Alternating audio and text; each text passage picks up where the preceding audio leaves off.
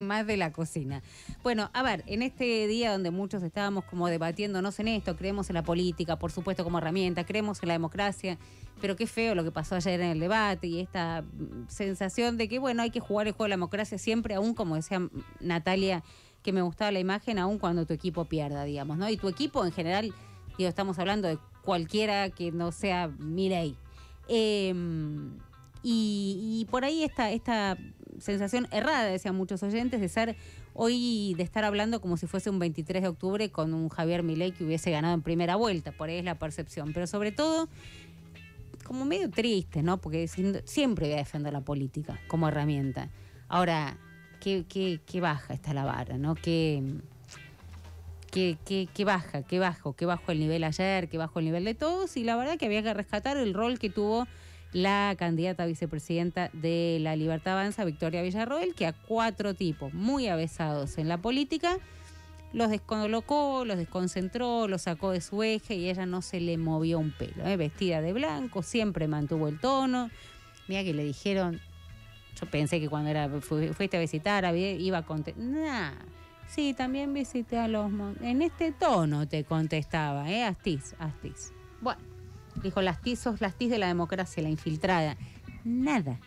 Yo creo que en un momento ya le, viste, a ver con qué, con qué la sacamos. Se notó también que el Chivo fue a tirar esa carta, el Chivo Rossi fue a tirar esa carta y que ya la había pensado bastante, ¿no? Dijo, bueno, acá la, acá la pongo sobre la mesa, ¿no? Pero no no sé, para mí eh, careció un poquito de, espontaneidad. Y parecían chicos, en un momento me dio gracia, pues una, una, amiga me escribía que el mejor había sido Bonelli, eh, uno de los dos moderadores en, en TN. En un momento, pobre Petri quiere sacar como uno, se había ido como con unos papeles o no sé, unas una eh, filminas, no sé qué era lo que tenía. Y las quiere sacar y, y Rossi parecía un chico. No, ustedes dijeron que no se podía y él está sacando los papeles y entonces dijeron que no y no dijeron una palabra, se quedaron calladitos y dice, no, no se puede, pero no dijeron nada. Dice, ya está, mostrar los papeles, no los muestres, ya a esta altura, viste la, eh, sí, qué sé yo, no sé, tampoco para tanto. Bueno, en el, en el marco eh, de este día nos pusimos a pensar qué pasa con, los, chicos más jóvenes, no con, no con el pibardo, ¿no? Con este, pero por ahí con, con esta juventud que está como muy imbrincada en la idea que harta de esta vieja política va a optar por una opción nueva, alguien que no, ¿no? Este, esto que, que repite eh, Cornejo hoy, la no experiencia es una, es una buena carta para tener en el currículum, ¿no? La falta de gestión porque no te pueden decir nada. Y nos pusimos a buscar quiénes eran los diputados más jóvenes en la Cámara. ¿Por qué hicimos ese ejercicio? Porque la verdad que nos daba bastante lo mismo, digamos, de qué, de qué sector provenían, de dónde militaban, pero digo, ¿qué, ¿qué, hace una? Primero queríamos saber quiénes eran los más jóvenes, ¿no? Este, y, después escucharlos un poco, porque uno habla mucho a veces, ¿no? Nosotros, y me gusta que dice que los mayores de 40. Y acá salen, ay, tengo 35, ay, todavía tengo 39. Medio, claro, es fiebre, casi somos de la Somos de esa generación. Ahí me subí, ¿viste? Muy bien, Mangel, muy bien. Bien. Eh, y ayer hablábamos justamente con uno de los dos, con Tomás Ledesma, que lo había expuesto a Martín Tetaz, con esto de que él estaba tramitando este, la devolución del IVA y no, no, no había sido cierto, y lo mostró de esa manera. Y la otra, nos cuentan, es Brenda Vargas. 29 años. Bueno, presentate vos, Brenda, mira si te voy a estar presentando yo. Matancera. Matancera, así me puedo presentar y está bien. Y así y eso te define, digamos. Matancera y peronista, si sirve para alegrar el día. Sí, no, bueno, algunos probablemente Matancera y peronista le el, Se lo arruinaremos, eso es de verdad. Por eso, algunos se lo estás arruinando, pero no importa, digamos, 29 años. Exactamente. ¿Hace cuánto estás en, en la Cámara? Asumí en diciembre del 2021, me tocó en la elección legislativa del 2021 acompañar la lista de, en ese momento, Frente de Todos, y hoy, por supuesto, acompañando la propuesta de Unión por la Patria estás entre lo que uno podría decir los jóvenes, ¿no? 29 años. Por este, suerte todavía sí. Igualmente, sí, eh, soy de las más grandes de los jóvenes, ¿no? Digo, acompañando a la militancia juvenil también. Tenemos pibitos en las secundarias, en las secundarias eh, militando. pero vos, vos estás ocupando una banca. Hoy estoy ocupando una banca y sí, de la Cámara de Diputados soy de las más jóvenes. Y evidentemente ocupando una banca y con la representación de uno de los, hasta ahora, digamos, ¿no? Dos partidos mayoritarios crees en la política como herramienta. Por supuesto. ¿Por qué? Y mira, yo he visto la transformación que ha hecho la política. Mi adolescencia la he vivido durante el gobierno de Cristina, por lo cual hace un ratito los escuchaba pasar un recorte de masa que decía yo quiero que los pibes vayan a la escuela con las compus, hablaban del tema. Eh, yo lo he visto eso, lo he vivido en carne propia y he visto también, he vivido en carne propia el ascenso social que ha tenido mi familia gracias a un gobierno nacional y popular como fue el de Néstor a partir del 2003 y luego el de Cristina. Eh, entonces creo en la transformación porque la he vivido, la vi, porque soy parte y porque además vivo en un proyecto, como te decía antes, dentro de mi distrito, donde veo como las políticas públicas que se ejecutan a lo largo y a lo ancho del territorio le cambian realmente la vida y dignifican la vida de mis vecinos y mis vecinas. Pero a ver, Brenda, la están escuchando, es la diputada más joven de la Cámara. Eh, representa, ¿qué, es? El Frente, Unión por la Patria, ¿qué es eso? Frente de Todos, Unión por la Patria. El Frente de Todos, Unión por la Patria. dijo ella. El peronismo, pero Randazzo es el peronismo. Sí, en la Cámara de Diputados sigue siendo frente de todos. en, la, Cámara sigue siendo el frente de todos. Exactamente. Eh, digo, yo podría decirte, bien, viviste el auge, pero también la caída, digamos, ¿no? Porque si uno ve los números de hoy, como la, digo, alguien que te esté escuchando dice, bueno, está bien, de pendeja viviste un ascenso social, pero hoy también, digamos, vivís una situación que la Argentina creo que no transitaba, por lo menos en, en estos números, desde el desde el 91, ¿no? Desde el 91, desde el 91. Sí, por supuesto no negar esa caída, no negar que los jóvenes y las jóvenes del país viven en una situación crítica donde por supuesto tienen más, más del 50% de desempleo, un 20% del trabajo irregular son de jóvenes em, que trabajan en ese sistema no formal y nosotros entendemos que justamente somos la propuesta que puede generar una salida a lo que ha sido eh, este gobierno, que por supuesto nos identificábamos, por supuesto hemos llevado a Alberto Fernández a la presidencia y hoy creemos que somos también los que debemos hacernos responsables de estos cuatro años. Con poco, la verdad, digo, hemos vivido... Eh, desde la pandemia en adelante todo lo que ha pasado, pero además también dentro de la autocrítica, de decir, bueno, y, acá no sé si va la mala palabra y nos, vale, van a vale, vale, vale, decimos chota todo el tiempo, claro, en lo que la hemos cagado estamos acá para reconstruirlo. Eh, este es el espacio donde están los jóvenes que creen en la política como herramienta de transformación y no como herramienta de destrucción como sucede con la libertad avanza, ¿no? Digo, cuando viene un pibe o una piba con este mismo planteo, porque digo, para mí la, la primera propuesta que tenemos que tener es escuchar sobre todas las cosas. Escuchar a esta generación, porque todas las generaciones cambian los objetivos, cambian el norte, eh, y dentro de esa escucha y ver estas problemáticas que mencionábamos recién, somos el único proyecto que demuestra que quiere crecer y no que quiere destruir para que crezca solo un sector. Entonces, desde ese lugar es la convocatoria a los jóvenes y a las jóvenes para que puedan acercarse a un proyecto político. Pues yo te señalaba mi experiencia. Y viste, siempre viene un compañero más grande que te dice, no, bueno, pero vos que sos jovencita no sabes nada, ¿no? O, inclusive el otro día me decía un periodista, no, los jóvenes son ignorantes, por eso votaron a mi ley. Digo, no tiene que ver con la ignorancia, al contrario, tiene que ver con el reconocimiento de la democracia.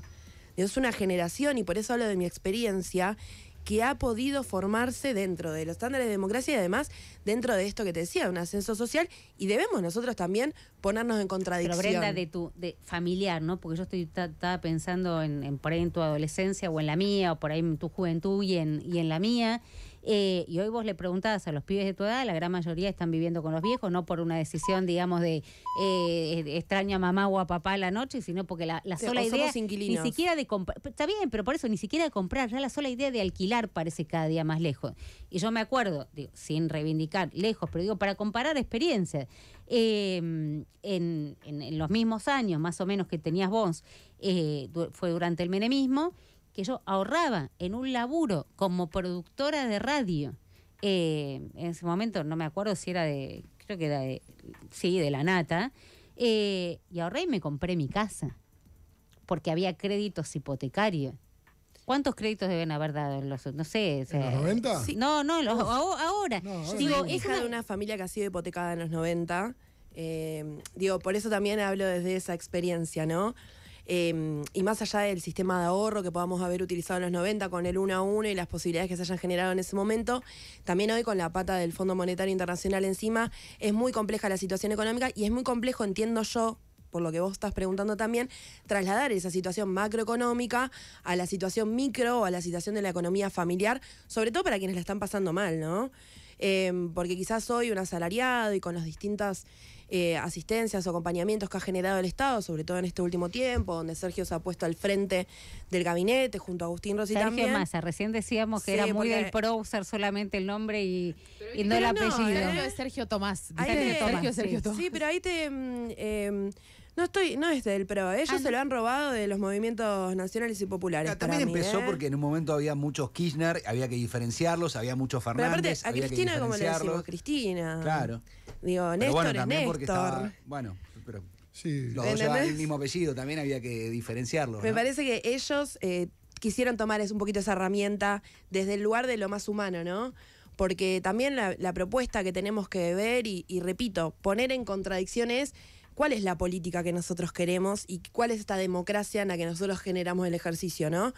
Eh, es esa política o esa, o esa democracia eh, donde nos queremos robar la identidad de otros, donde nadie es eh, fiel a sus ideales. Como te decía antes de, de empezar, digo, es muy contradictoria la- algunas propuestas que tiene Victoria Villarruel eh, con las que tiene Milei. Y nosotros intentamos, más allá de la diversidad que tiene nuestro frente, que tiene nuestro espacio, poder tener un objetivo y una idea de gobierno. Pero con- Y te con- contá- repito- contame vos, digo, en esto de humanizar, Sí. ¿no? Porque me parece que también un poco es, bueno, la experiencia de cada uno. No, pero debemos ¿Dónde humanizar la, vivís? la ¿Con quién, con problemática quién y la con- demanda. ¿Con, quién eso vivís? ¿Cómo es tu, tu, tu dinámica diaria, digamos, no? Bien, yo vivo en San Justo, donde nací, en el mismo lugar, seguimos viviendo en Villa Constructora, eh, con mi familia, de papá, mamá, hermano. Ahora me Ahí, punto. sí. ¿Vivís con ellos? ¿Por qué? No, no, ahora me mudé, ahora, Sí. por decisión personal. Eh, no te lo la- bancabas más, ¿no? No, me parece que capaz convivir con muchas personas adultas es complejo, ¿no?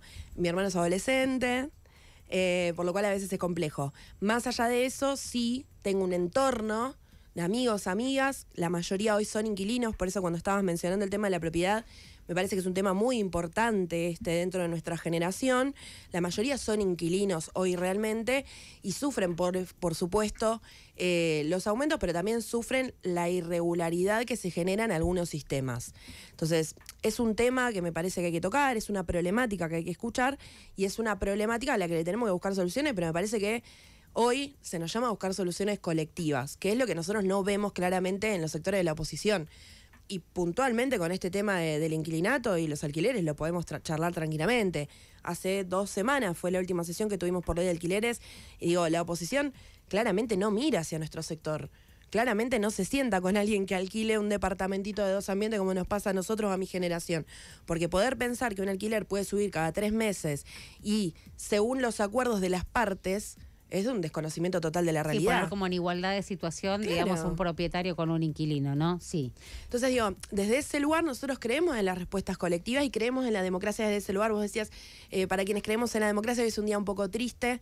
Bueno, yo creo que, que, y no sé si eras vos que decías que, que había que tener la esperanza Por todavía. Eh, me parece que, que la esperanza está todavía y que está justamente en esto, en entender que nosotros necesitamos soluciones comunitarias también, en entender que las exigencias que le hacemos al Estado son valereras, siempre y cuando siga existiendo ese Estado y siempre y cuando entendamos que esos derechos que hemos adquirido alguien los tiene que garantizar, ¿no? Y claramente lo que está del otro lado no, no te asegura nunca que te va a garantizar de- los derechos que hemos adquirido. Digo, ni la ¿Sabes- propuesta de? Milei ni la propuesta de No, Bullrich. yo entiendo, y, y hay un discurso del oficialismo muy fuerte, o- obviamente ahora van a participar mis compañeros, pero hay un discurso muy fuerte del oficialismo de vienen por tus derechos, pero hay un momento donde te preguntás cuáles. O sea, ¿qué derechos quedan? ¿Viste? Van, van quedando pocos. Y ahí sí es donde vos decís, bueno, la autocrítica, la responsabilidad, Exactamente. el gobierno de Alberto Fernández, que no sé necesariamente hasta dónde es el gobierno de Cristina Fernández de Kirchner, algunos se abrieron y dijeron, este, este, este, este no es mío. Para ¿no? mí el, que es de lleve, la- lo que era el que trajo el borracho que se lo lleve, ¿no? Claro. la militancia política hay que hacerse responsable, eso seguro, ¿no? Nosotros tenemos la responsabilidad de asumir que hemos traído a Alberto Fernández al poder y que nosotros tenemos que generar la capacidad de solucionar las problemáticas que venimos arrastrando y que dejamos. Eso, y lo digo también desde el lugar de estamos comunicando algo en este momento, ¿no? Y la responsabilidad de sentarme en una banca, pero también de ser una militante política que tiene convicciones y que ha visto muchas de esas ideas, esas convicciones que se han ido eh, derrotadas eh, luego de esta gestión en la presidencia. Eso no lo ¿Cómo, vamos cómo a negar. calificás la gestión? En, con números. No, no, no, no, no, no, no, no, no, no, no, ese juego, no, porque me parece que es como muy eh, maniqueo, ¿viste? Le pongo 9, 8, no es así. Eh, no es blanco-negro. No, a mí me parece que, eh, por supuesto, desde lo local, desde el gobierno local, que es donde más quizás puedo opinar, eh, para mí ha sido una gestión grandiosa que ha sido acompañada, muy bien acompañada por el gobierno provincial y nacional. Eso no lo puedo negar. Eso ¿Grandiosa? Me mataste. No, sí. Mm, bueno, la matanza no es grande, es grandiosa. Te faltó ese antes. ¿Puedo decir la nacional? no, no, ahí iba. Desde lo ah. local, digo, el acompañamiento provincial y nacional es muy importante. Nosotros hemos podido realizar una gestión donde hemos podido gestionar la presencia, digo, desde la obra pública, que ha sido muy grande la planificación de obra pública, hemos podido gestionar de distintas áreas. Ahora, en la política macroeconómica claramente hemos tenido graves problemas, hemos tenido malas definiciones con el acuerdo con el fondo, yo he estado durante las sesiones con el acuerdo del fondo, hemos tenido malas decisiones, hemos tomado decisiones no acertadas por también ser, digo, orgánicos a, gestionar el poder y generar el poder de un gobierno que venía golpeado con la pandemia, ¿no? Y mm, pasando esa etapa. Pasalo, pasalo más en, tu, en tus palabras, digamos. no, los vecinos de La Matanza, seguro que te, preguntan más cuando baja la inflación que, que, te agradecen, no sé, que esté limpio el barrio, ¿no? Mira, ahí hay un miti miti, ¿eh? Porque nosotros le venimos hablando mucho de esto, por supuesto, vos decías recién van a salir a repartir 13 eh, millones de volantes. Para nosotros es lo natural, digo, todos los días. Eh, y lo hablamos mucho y es un ejercicio que tenemos naturalizado, el hablar con el vecino y la vecina no militante, no partidarizado, inclusive hoy particularmente, sobre todo con quienes sabemos que no nos votan. Eh, y la realidad es que es un poco y un poco. Es un poco el buscar responsables de algunas cuestiones, que pueden ser, como decís vos, la cuestión inflacionaria, eh, como también un poco decir, che, no, bueno, igual tuve esta autopista, generamos el centro universitario, mi pibe se fue con la compu el otro día de la escuela, tenemos los libros todos los años, digo, más allá de las políticas de asistencia hay políticas de construcción de la infraestructura de grandes ciudades como las nuestras, eh, que sin los gobiernos provinciales y nacionales no son posibles tampoco. ¿qué es lo que pesa más? Digamos, de todo eso que vos decís y que está en la, en, la, cancha, ¿no? A la hora de ir a votar, a la gente le pasan un montón de cosas. No solo le pasa que no tiene guita, le pasa que no tiene guita y que el pibe tiene la compu. Le pasa que no tiene seguridad porque lo chorearon, pero consiguió laburo, capaz. Le pasa todo eso, ¿no? Al habitante de La Matanza, en cualquier barrio de, de la ciudad de Buenos Aires. ¿Qué es lo que pesa más a la hora de votar? ¿Cuál es el reclamo puntual que te hacen?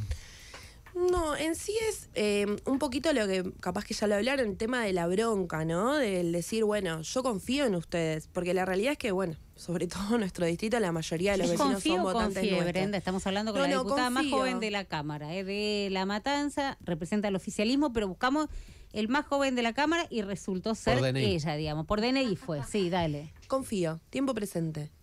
Es un confío de tiempo presente. hay un electorado decepcionado con esta gestión de Alberto Fernández que de manera orgánica tuvieron que acompañar. Eh, bueno, sí, por eso hablo de la bronca, pero digo, sigue confiando y sigue creyendo que es la mejor posición ante todo el resto de los postores también. ¿Y cómo convences que Massa no va a ser Alberto Fernández? Y por lo que ya viene haciendo, claramente. Nosotros entendemos que si bien, digo, la inflación se mueve en números, tuvimos la, la devaluación que tuvimos, estamos tratando de elevar los salarios y tratando de que recupere poder adquisitivo el salario y eso es evidente. El vecino y la vecina, digo, lo que fue la devolución del IVA, por ejemplo, que uno pensaría que con lo de ganancias pasaría desapercibido, al contrario. O sea, el vecino o la vecina te viene a preguntar, che, ¿cómo uso la tarjeta de débito que tengo guardada porque no la usaba para que me devuelvan el IVA? Es una medida fuerte que se siente. Uno pensaría, bueno, que son 18.800 pesos que se le devuelven.